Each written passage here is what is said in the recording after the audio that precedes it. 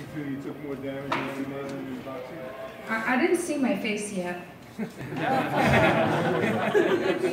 Thank you. Last one, guys. Last one. So, oh. Yeah, I was. Like one time I went to grab a leg and I was like, no, you didn't. Taylor won't do that. and Bellator doesn't have a women's 125 pound uh, champion right now.